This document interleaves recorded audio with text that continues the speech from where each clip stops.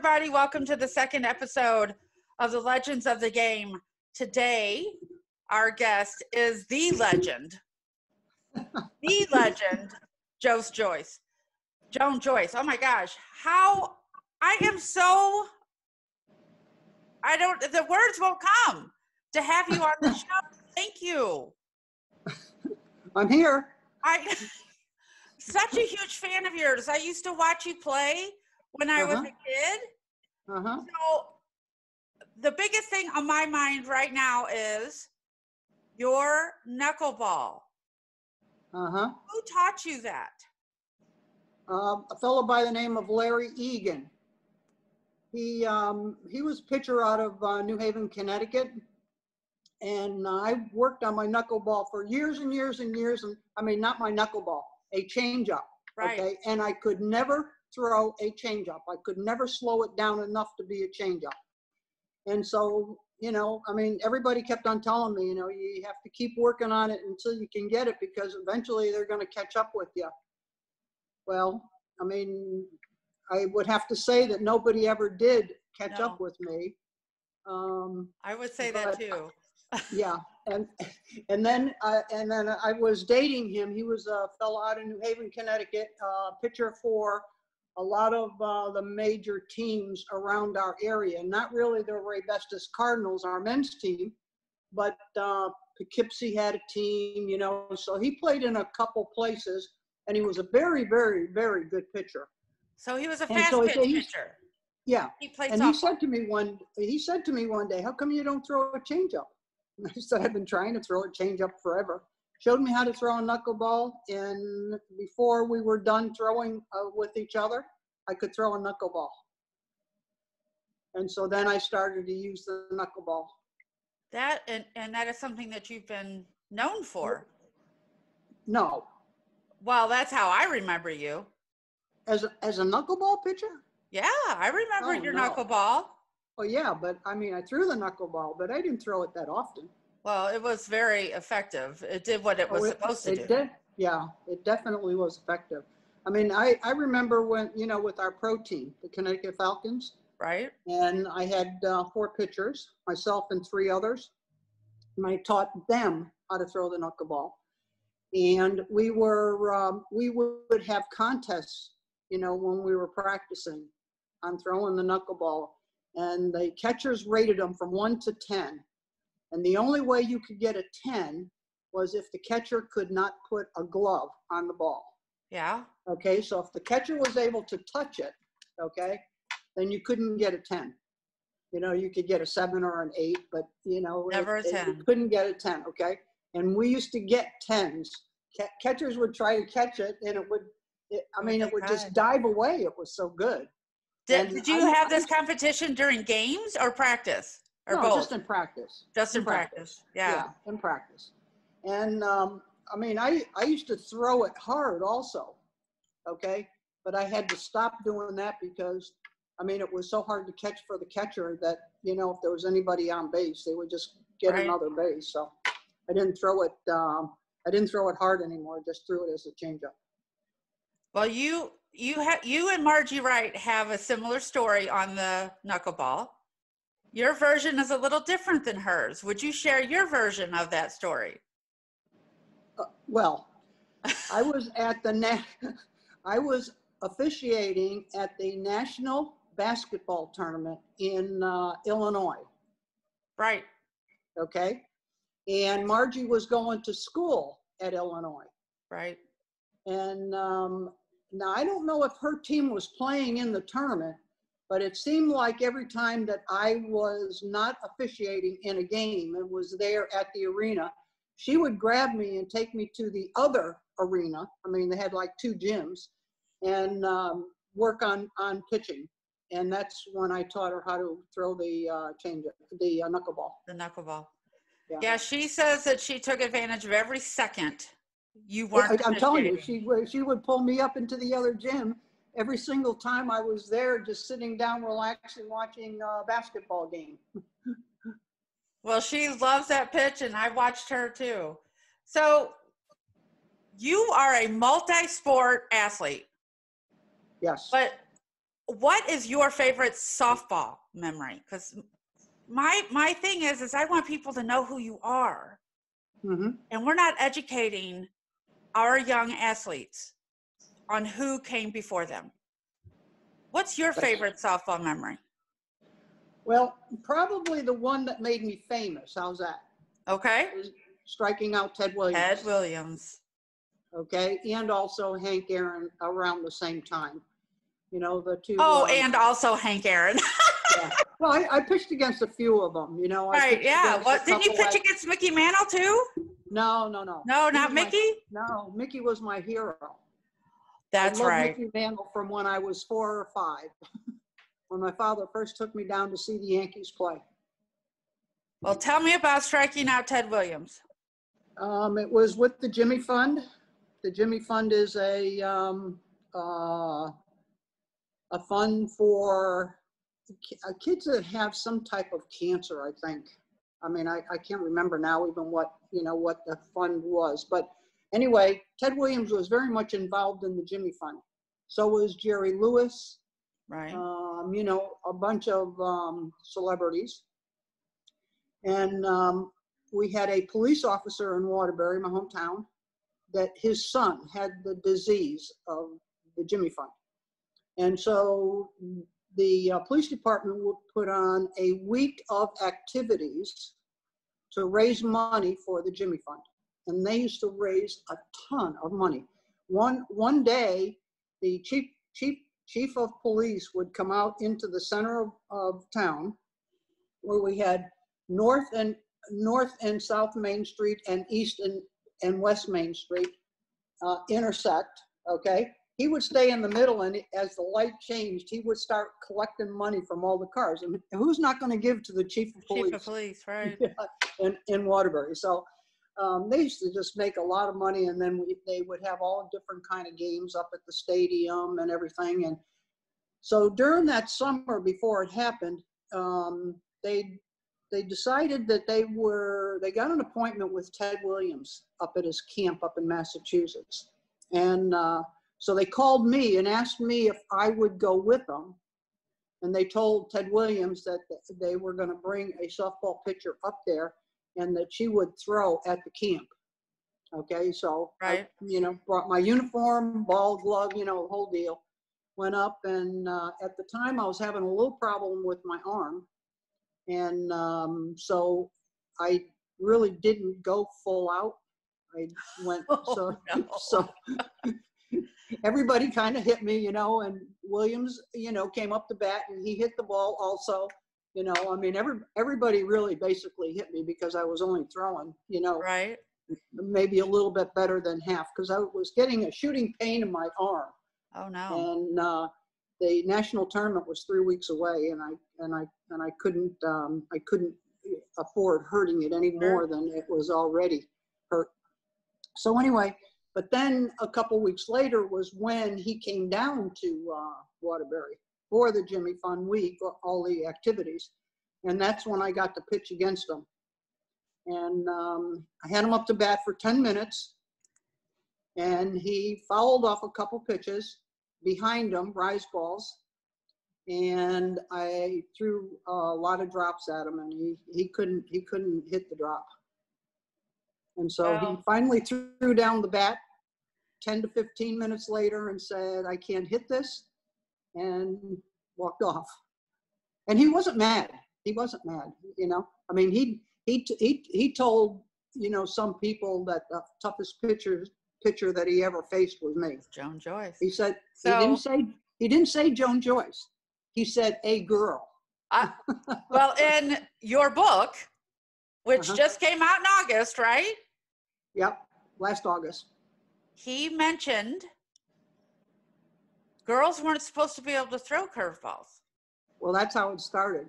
You know, we were walking back for lunch after um, I did the exhibition, and he uh, was walking up ahead of me, and he turned around to me and he said, "How did you throw that curveball?"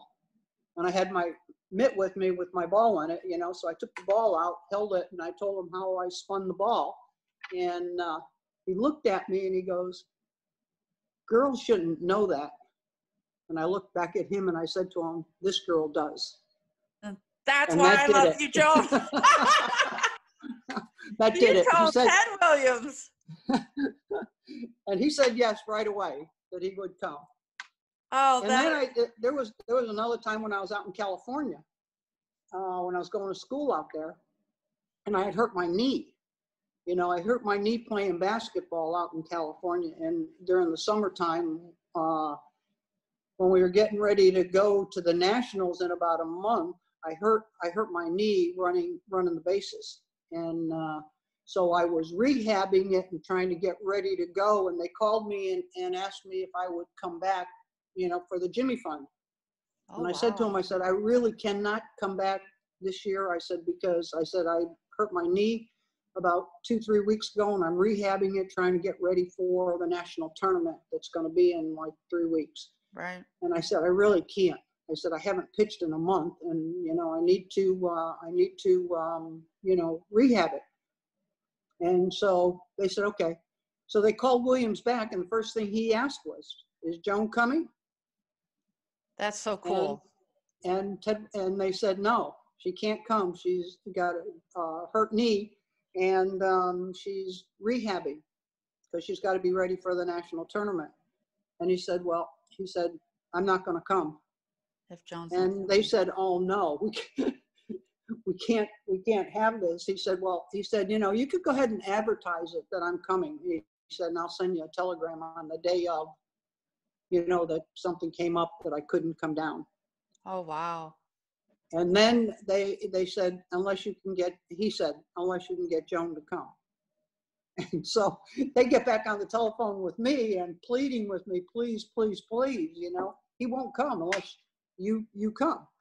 So I finally said yes, you know, because I'm coming back to my home and I can't Right. go in, in, you know, and out in two days. I got to stay home for at least a week, you know, so I um, said yes. And I had to call him personally to tell him that I was coming because they wouldn't believe, they wouldn't believe the, he wouldn't believe the police officers. So you He had to you gotta have, you gotta have Joan call me and tell me that she's coming. And I did. I called them and told them that I would be there. And so that's how it worked out. So the reason for this podcast is the fact that I want people to know who you are. We know all of our girls know who Ted Williams. They know who he is.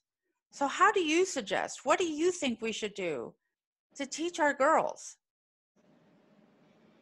Well, you know, some, uh, you know, it's, I, that's, that's very interesting, you know, like I had, I had a, a softball player that, that played for me that was also a basketball player at, at, uh, at FAU, Florida Atlantic University. And, uh, I received a basketball, okay, because actually basketball was my favorite game. Right. I mean, I love. That's in your book as well. Yeah.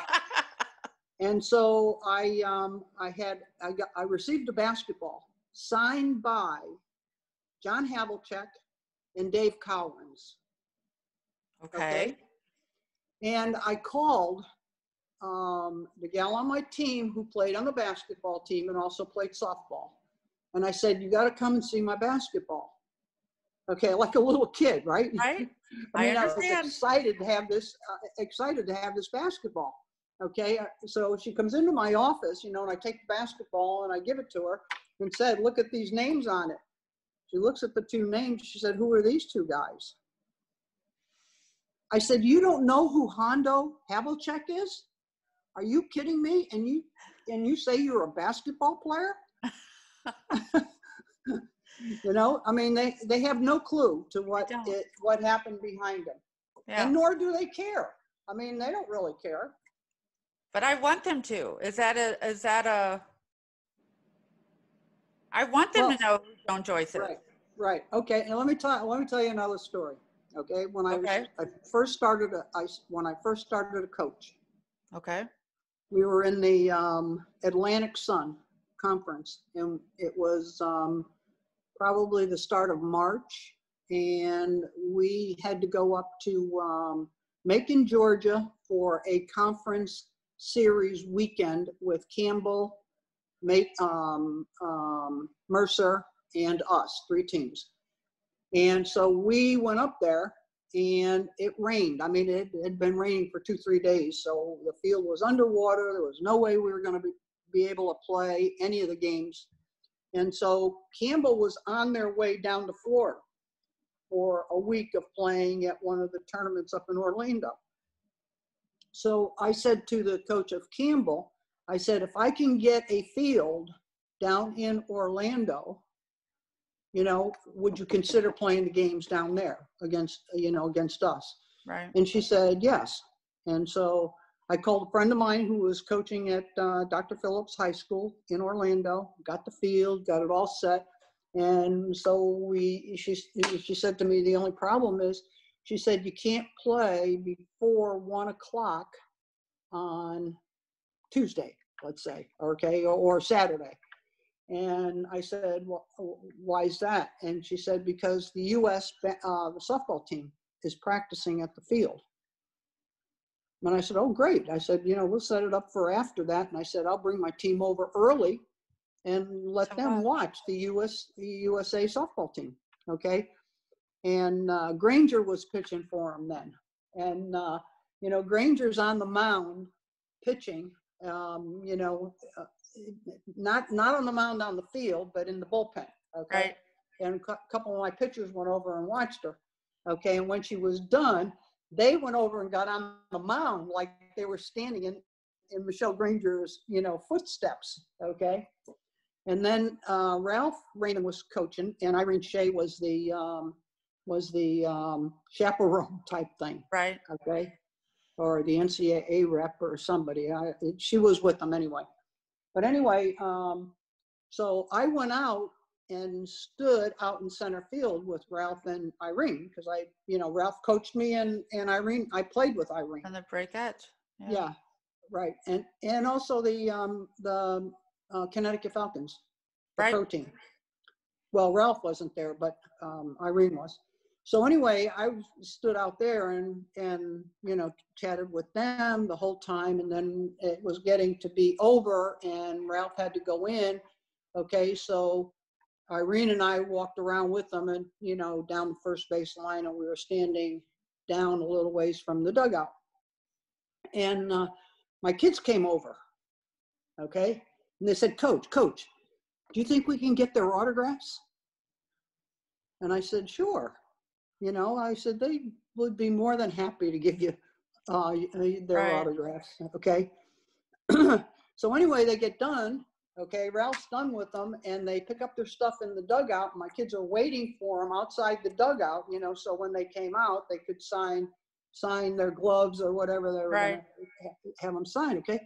They walk by my kids okay and come over to me okay and ask me for my autograph okay? And my kids are watching this and they're going are you ki- are you serious? They're all going over to coach to get coach's autograph. And then and then they decided that that um that i knew everybody in softball. I would say so. yeah. So your your own kids don't appreciate who Joan Joyce is. and uh, no. They have well, no eh, they have you're no, a humbled person, though. You but you know there's not even that many people around anymore that have seen me pitch well, I did, and I. We need to have. We, we just need to be talking about it, though. you just you struck out Ted Williams. You struck out Yeah. Hank Aaron. Yeah. The Yeah. two best hitters in Major League Baseball. And i had a huge i had a huge argument with uh, willie mays on tv Oh. what was was that on- about? i was on a uh, sports show with them up in at hart in hartford connecticut Yeah. and uh, the uh, announcer asked me, "Do you think that at some time a woman will play in in Major League Baseball?" And I said, "Yes." I said, "At some point, somebody will come along and play in Major League Baseball." And he went crazy. Willie Mays went crazy. I mean, you know, he said, oh, there is no way, there is no way that that is ever going to happen. He said, what's going to happen when they slide into second base and take out the second baseman? And I looked at him and I said, what do you think happens right now in softball? Right. It's the same, it's the same thing. I said, it's not any different. You know, the only difference is that the guys will be a little bit faster than the girls, you know, but you're going to find somebody coming along that could go out and play uh, Major League Baseball. And now you're starting to find um, a lot of girls that play uh, baseball, you know, in Little League first and then start playing softball. Right. You know, so I mean, that's probably a little different because when I played, I got kicked out first game. because you were a girl. Yeah, exactly. That's because I hit two doubles off the fence and I was showing up the boys, so they wouldn't let me play Yeah, anymore. Because I was I was a catcher then. Wow. Yeah. What's this on the book? It talks about you and Billie Jean King uh, we- starting a pro league. Yeah, we had a pro league for four years. We had all the best players in the country in the era that you're talking about. Okay, when you saw me play. Yeah, I didn't know Billie Okay. Jean King was a part of that. Oh yeah, Billie Jean King, uh, Martina Navratilova, Janie Janie Blalock. Yeah, I didn't know that. Yep. Billie Oh, Jean was it, it- Billie Jean's company was the one that started the whole thing. She, um, you know, like she, um, she got Dennis Murphy, who had started a whole bunch of uh, different uh, leagues. She had gotten um, Dennis Murphy, you know, and he was one one of the part owners of the um, Bakersfield uh, team in California, because there was a couple teams in California. There was Bakersfield and there was um, Orange County, Right. and and I don't think there was anybody up north that. Um, but those two, th- those two play, and Rosie Black, you know, the Queen and her maids, mm-hmm. also played in that league. And he, her, her dad was a maniac. Okay, I mean a maniac. He he he said that you know, Rosie pitching against girls was like having a day off. Oh, Okay, so trash talking.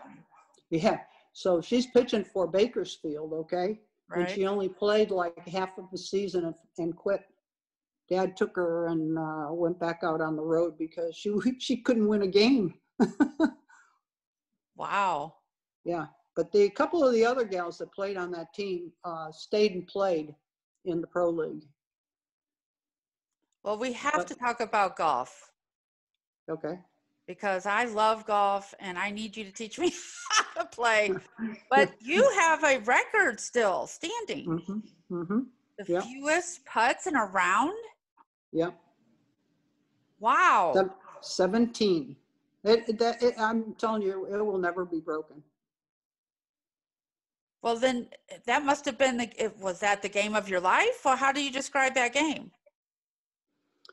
Um, well, uh, I, I probably would say it would have to be the game of my life, okay? Right. Because, I mean, you know, to, I mean, I shot 67 and it was on the final day of a, uh, an LPGA tournament Right. and I finished sixth in the tournament.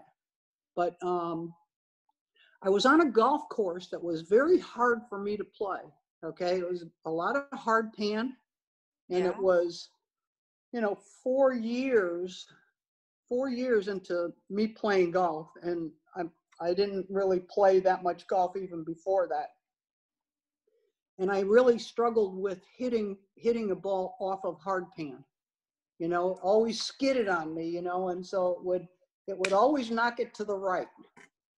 And I mean, you can't believe some of the shots that I hit in that tournament and score as well as I did okay it is it was amazing and the thing that was funny about that particular day when i when i had the 17 putts the atlanta uh, lorelei ladies who also was a major team at that time and we used to play them all the time in atlanta Right. okay they all came out and watched me uh, play golf that day and they're going crazy okay because you know softball players don't have any clue to etiquette in golf when you're playing golf. and they they are just hooting and hollering and having a great time out there. It was so it was so much fun. But anyway, I just I chipped it in four times. And I mean, yeah, and it was, I mean it was a golf course that I mean it was crazy. I mean the things that the things that I did that day I couldn't do again if I spent the rest of my life trying to hit those shots and make them. So you, You know, played just- prof- professional softball. hmm You played professional golf. hmm You played professional basketball. Well, we weren't paid, I mean, you know, professional AAU basketball, yes, probably was pretty close to professional. I mean, we played against the best teams in the country. right? So What oth- I mean, did you play anything else? volleyball, Wow. I played volleyball um, after basketball, and we played. Uh, I played USVBA, played in um, three or four national championships. Uh, I You are an athlete. Yeah, I bowled. You bowled? Yeah, that's where I made my money. Was I? I still I bowl? a- Yeah, uh, no, I, I, I have a bad left knee, okay? And everything you do in life and sports, you need Right. your left knee. And I heard of playing, playing basketball in sixty-five. And, um, you know, at that time, I- there's no way I was gonna have an operation on it, you know? Right. I mean, I might consider it someday. I'm working on, uh, You heard it 65 and you might Huh? consider surgery? Well, you know, I think it's just, I think I just need to get the uh, arthritis cleaned up in it. yeah. Maybe. I, you know, because I, I, I fell down um, probably three years ago now. I was h- helping hold a garbage can for someone who was climbing up the other side on a house that had no furniture in it. And, and I didn't know the house and I was in the garage. And so I was on the corner of the garbage can. Yeah. Okay. And I decided I better get There you are. I better get the full size, full size of it.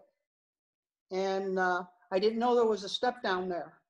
So I came around and went down Oh. and went over and I used my volleyball skills, went down, hit on my side where I should, and then kind of rolled over from there, whacked my elbows down and whacked my head on the, on the ground.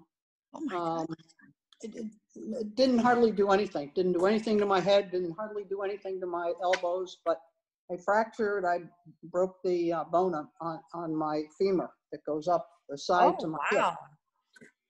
So, and my uh, strength and conditioning coach and my assistant coach were, were with me at the time. So, and I was one block away from the hospital.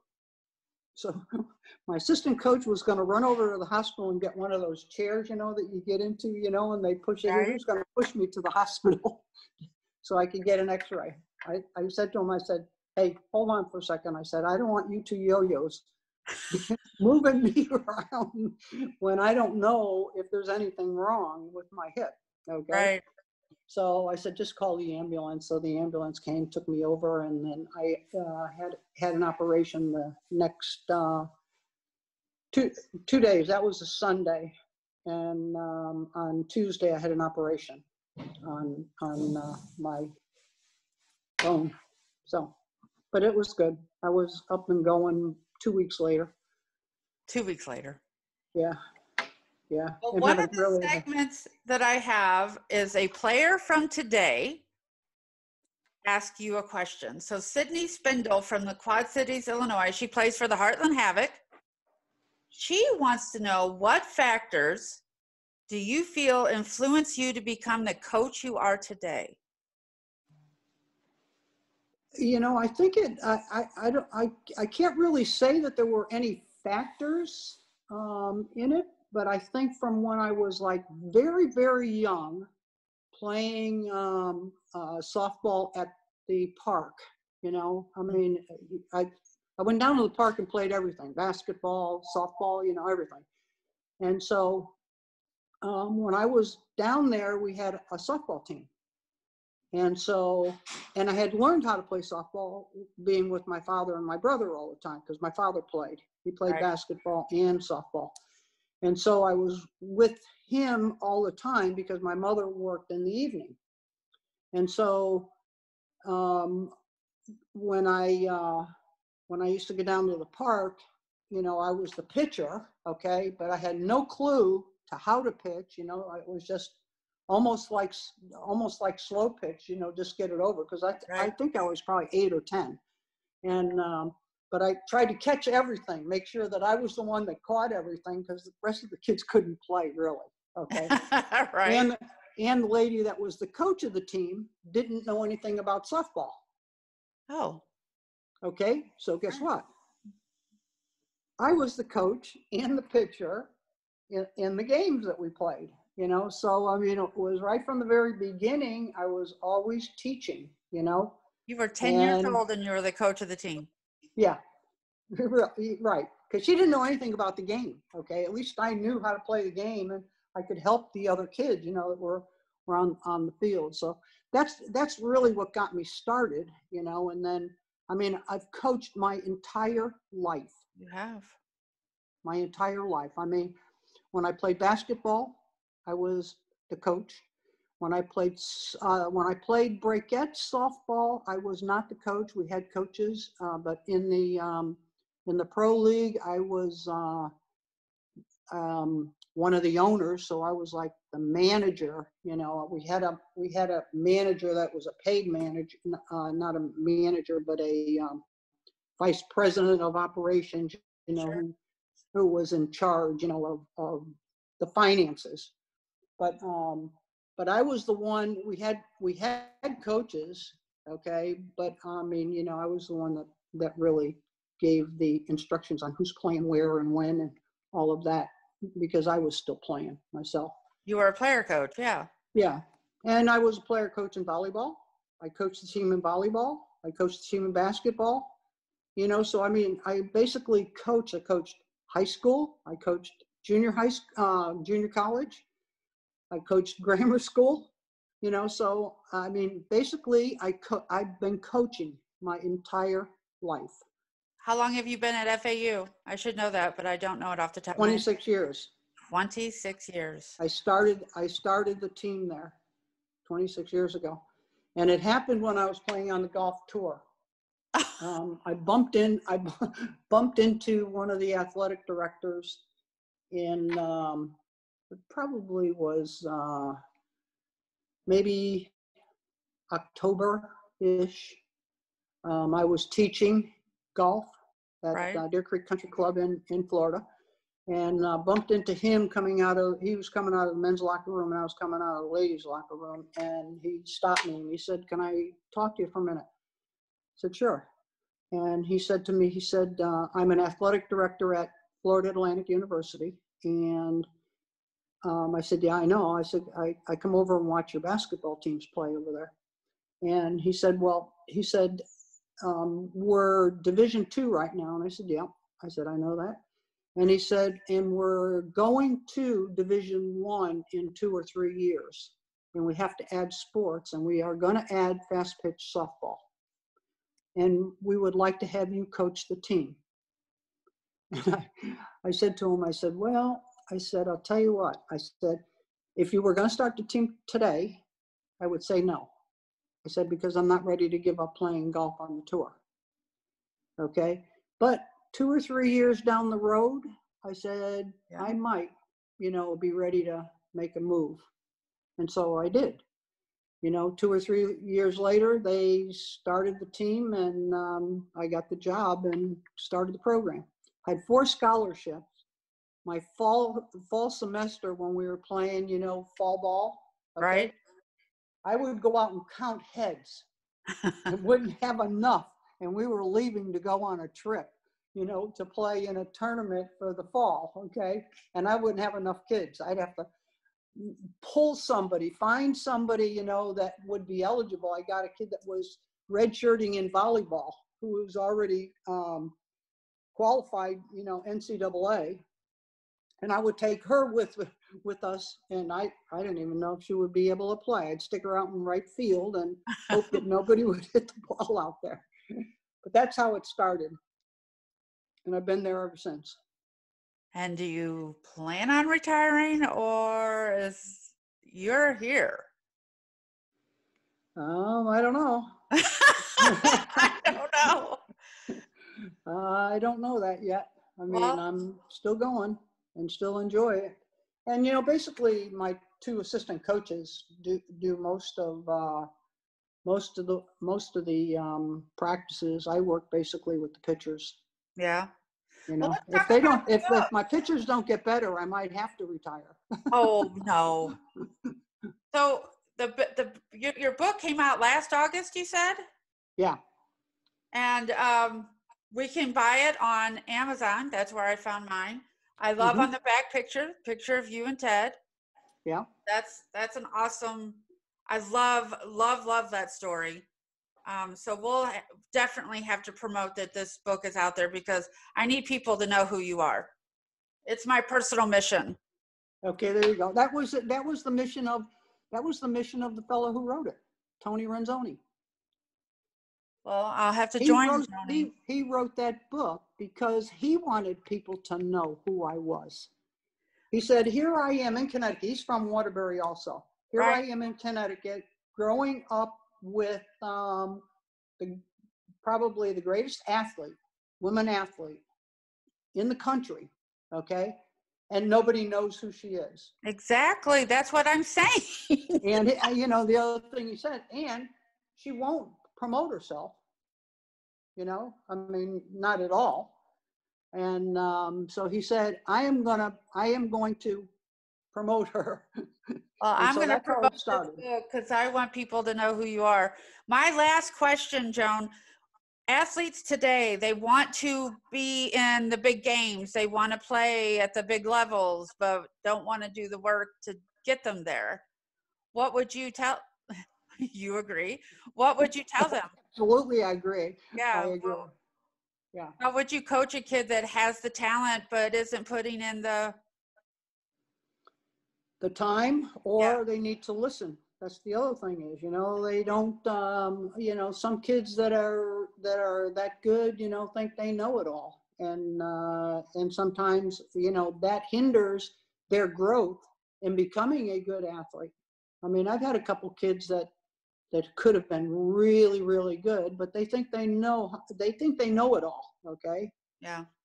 and they have no clue really until you know they really grow up you know and uh, get out into life and find out really what's going on you know on how much work it is you know to be good and i i find the biggest thing the, the two biggest things that i find is the difference now than when i grew up okay is number number one I mean, every single day I went to either a park on the street or with my, my father to a game, okay, and threw a ball around or, you know, so I was always doing something. I could remember when I was in high school, I would get out of school and run to the bus to get on the bus to get home, put my shorts on, um, sweatshirt, okay, Right? basketball under one arm, shovel in the other arm, go up and shovel the basketball court and shoot by myself for two, three hours. By myself. Right. Okay, so I mean, you don't, you can't, you can't get the kids out of the house now. No, you can't. Okay, because Cold. they got it's all the, 30 degrees. you know, I mean, they got all these, you know, um, iPads, phones, games, you know, all that kind of stuff. You can't, you, you can't get them out to do it. Plus, the other thing too is, we could do that then. Now you can't do that. Okay, parents are afraid to let their kids go to the park. Right. Okay, unless you're uh, there with them. Correct. You know, because I mean, with kids being stolen, you know, out of parks and you know all over the place. I mean, you know, and that, and I don't blame parents. You know, so it's it's even a lot harder, and that's why there's so much of organized ball right now. Okay, which actually is good if you had coaches that would teach the game. Because my biggest thing in softball is when, when I get uh, student athletes coming to uh, our school is they know how to throw, they know how to catch, they know how to swing the bat. They do not know how to play the game. Okay, it's because they're told every single thing to do, and then they- they're, not learning. Right. Okay, it's in one ear and out the other because you hear the coach telling you something to do all the time. So after a while, they don't even care what you're saying. I had, we had a, a, a camp, a team camp, uh, three years ago. And uh, I was sitting down next to our dugout, you know, uh, the kids were in the dugout, and I was sitting next to the dugout watching them play. And there was a coach that was standing almost right in front of me, okay? And I was listening to him, and by about two innings, I had a headache from listening to him. Oh my God. Okay. And I, I said to him, uh, I said to him, I, um, I had his name, Bob, let's say, Bob, do you think with you calling out all that information to those kids that they are learning, you know, from that and that you eventually stop doing that? And he looked at me and said, hmm, I don't know. I'm not really sure. Right. They I said, learn how to so do you decisions. yell? I said, do you yell all that stuff to him every single game for the whole season? And he said, yeah. And you know, he came to me the next year. They came down and did the same team camp, and he came over to me and he said to me, he said, he said, um, do you remember me? And I looked at him and I said, "Hmm, probably not. Uh, he said, I didn't remember that he was the one that I told right. you know that he shouldn't do that. And he said, I'm the one that you told. Ask the question if, you know, with me telling them what to do on the field, okay, did that teach them how to play the game? And he said, and guess what? He said, I've totally, totally changed how I coach now. He said, I do not do that anymore. Yeah, they have to learn how to make their own decisions. That's exactly right. Exactly right. I mean, you know, and and if you ask them a question, if you ask them a question, they'll give you a dissertation. Right. Okay, on as simple a play is we had a we had a situation on, you know, working on cutoffs. Okay, and so I asked one of the one of the one of the players that played right field. I said, when a ball is hit and it goes down into the corner, okay, wh- what is your thinking when you're going after that ball on what's going to happen? And um, she said, well, she said, I have to think on how far that, that runner's going to go and where I'm going to have to. I said, oh, you don't have to think like that. I said, you have one thing to do is get that ball as fast as you can, turn around and throw to your cut, which should be standing there with her hands up in the air. Let her make the decision on where to go from there. That's right. Your job is done. Right. You know, and it's like she's giving me a dissertation on how she's going to play this ball. You know, and you know, I said you can't be thinking like that. Pick the ball, get the ball as quick as you can, get it to the cut, right. okay, and let her decide then because she's got a better shot at knowing where the runner is now than you do running, you know, with your back to the play. And the catcher should be talking to him. Well, but you know what? The catcher, the catchers, uh, and and and I really basically disagree with it. Disagree with that because Okay. number one, they call it out right away. Okay. They don't look to see where runners are, and they're. I mean, as soon as some, let's say there's a runner on second, soon as there's a base hit, they're yelling home, home, home, home. home. Well, you know what? When the kid picks up the ball out there and gets ready to throw home, and you got a fast runner, you don't have a play at home No. but they're throwing home. And guess what? The runner that, that hit the ball is now going to second base. So now you got another person in scoring position. And I'm, That's why you hit your cutoff. I am not, I am not kidding you. I mean, I'm about ready to kill people then, you know, because it's, I mean, you know, because the way the game is played now, okay, right? I mean, it's hard to strike out people anymore. You know, Right. the hitters have gotten so much better and faster. Kids are faster, you know, so that, you know, you keep letting that runner go to second base and balls are going to be hit and they're going to be hit hard. So there's going to be a lot, a lot more runs scored And you know, we're trying to stop runners from scoring, and you keep letting these people go to second base on you. You know, so it's it's like they have no clue to the flow of a game and know, you know, like they they go in the dugout and cheer. Well, Yeah. guess what? Your job in the dugout is not to be cheering, you know, be cheering, you know, come on, you know, Joan, let's um, get a base hit or something like that. But you got to watch what the pitcher is doing, what people on the field are doing, so that when you come up to bat, you have an idea of what's going on out there. Don't rely on the coaches to have to tell you everything. Oh, I hope everybody here listens to that. I mean, it's like Play the game, learn the game, be a student of the game. they don't.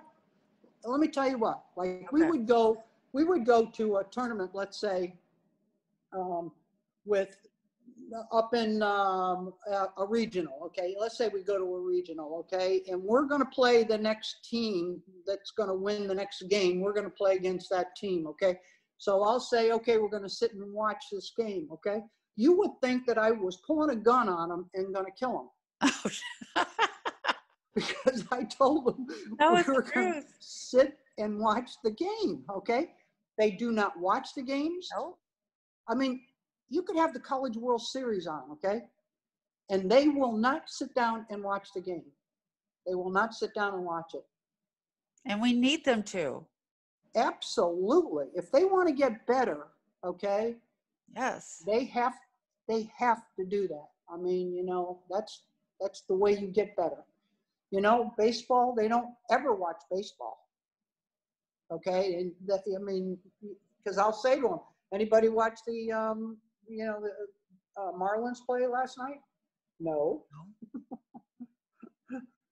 you know, so they don't they don't really learn it.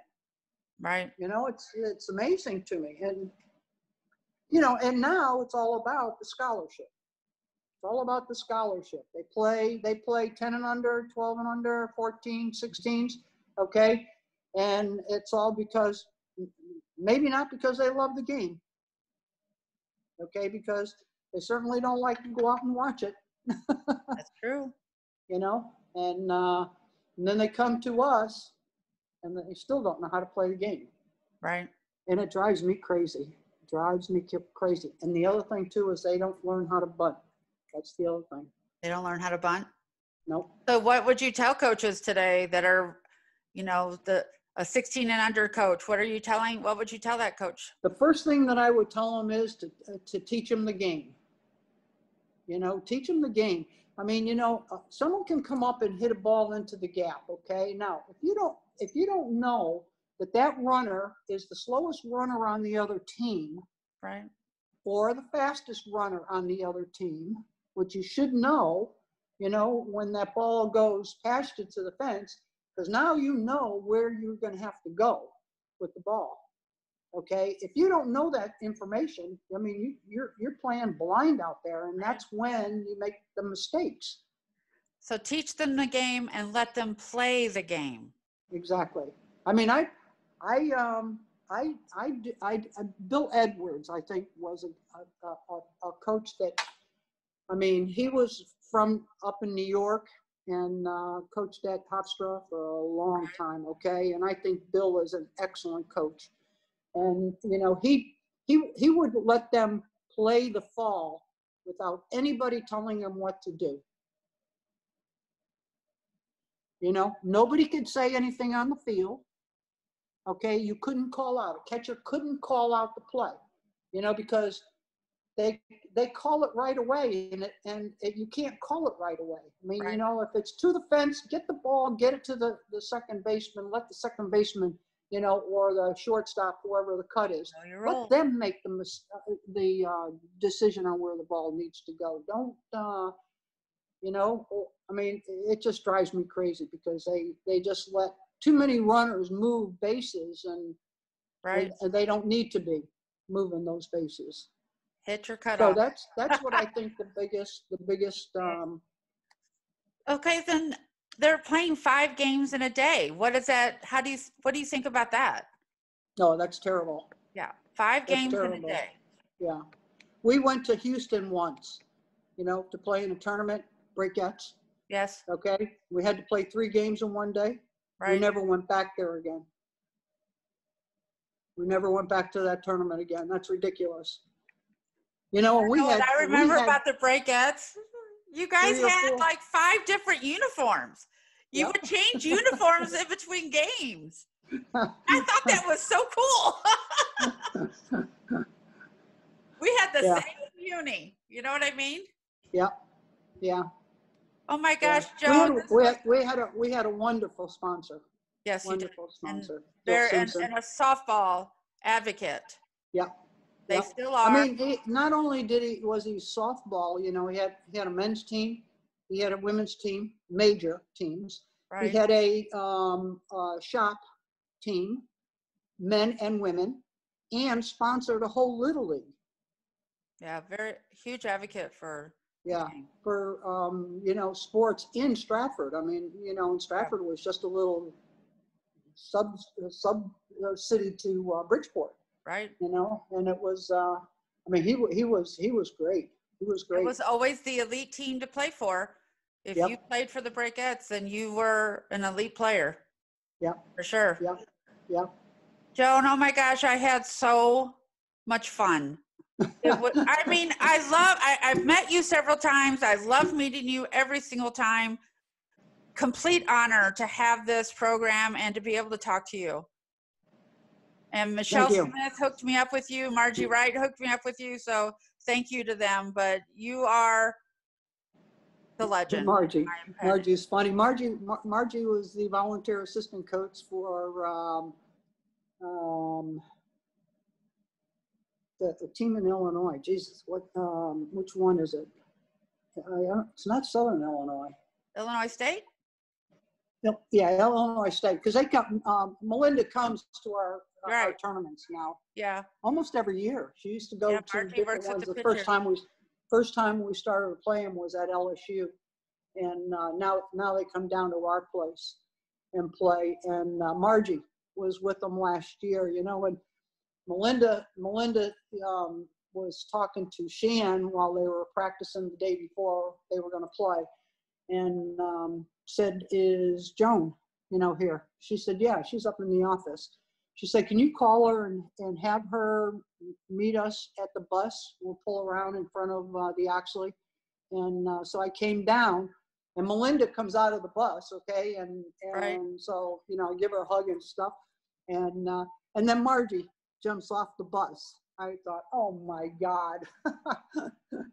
Margie was, Mar, I- you know, let me tell you a funny story about Margie. Okay, I can't wait. Okay.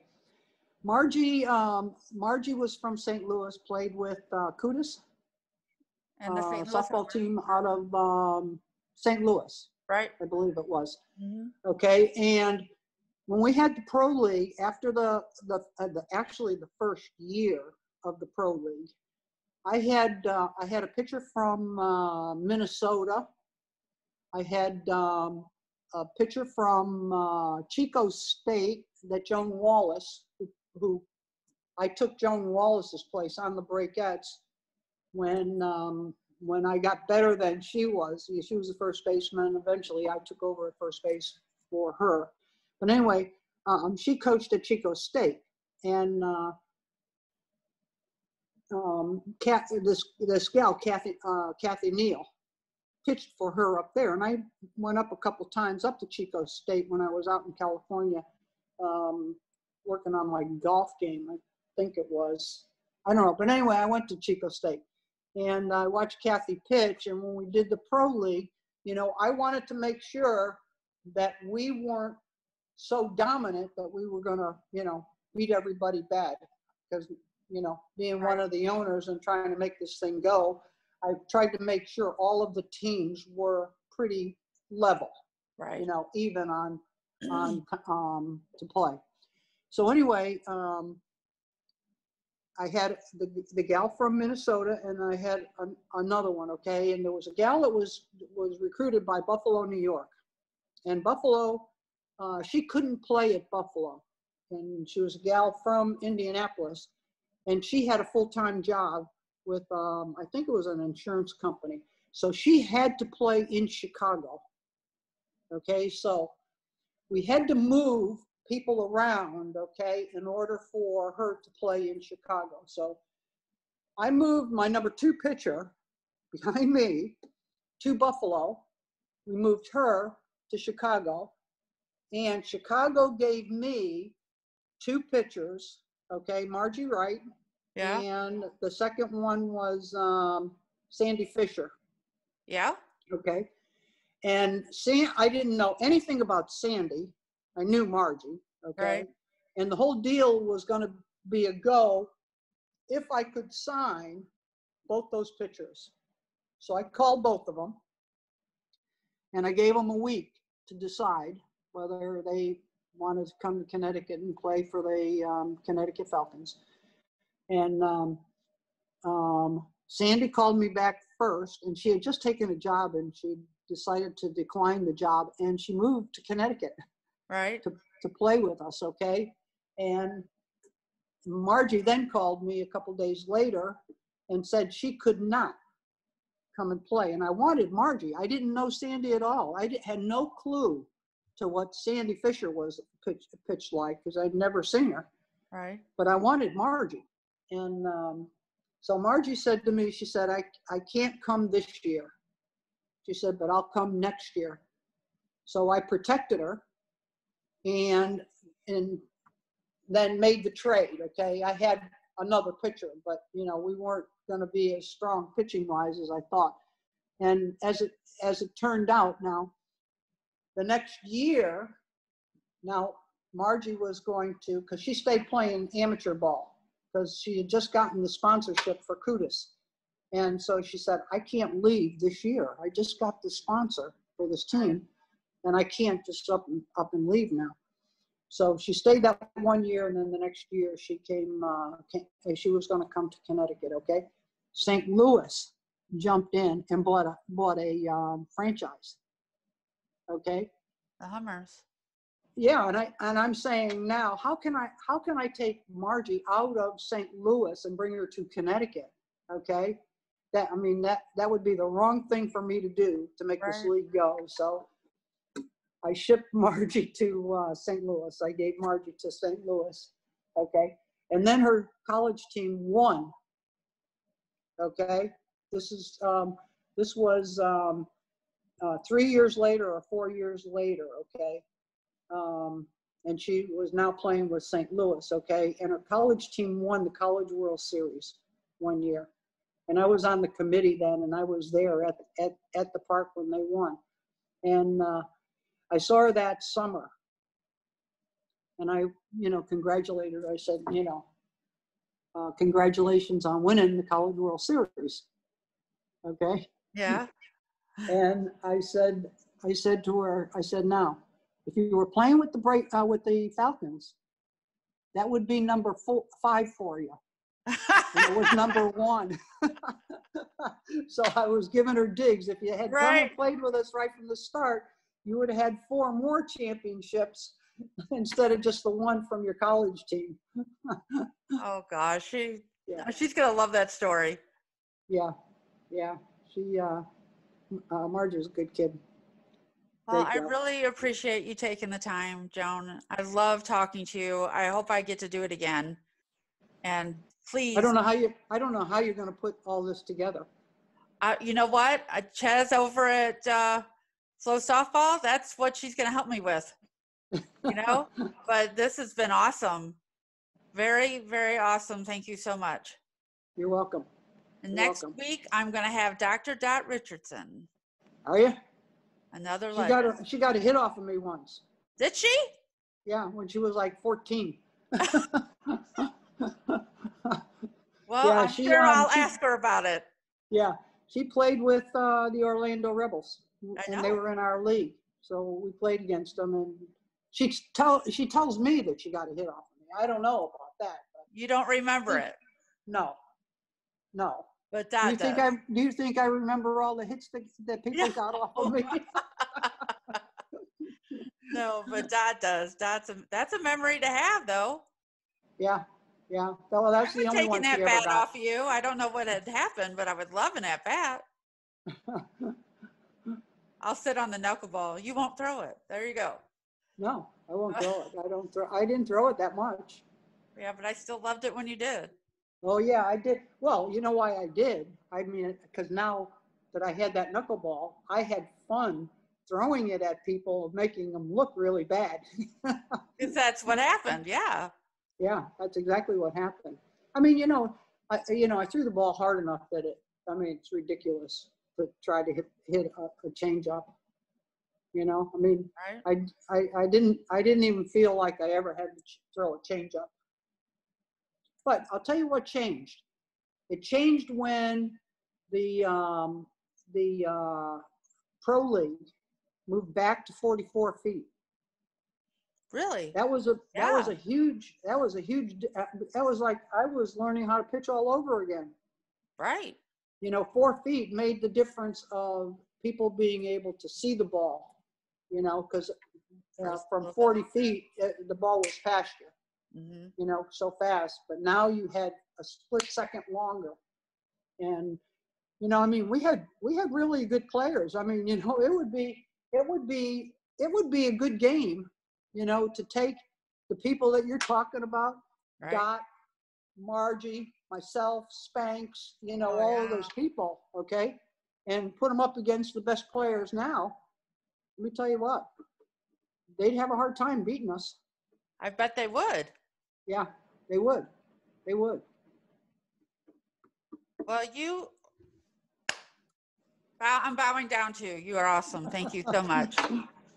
You're welcome. And I will, I will try to keep, uh, keep this book going. I want this book to go. Thank you so much, Joan. Okay, thank you. I talk to you soon. Okay, Bye. bye.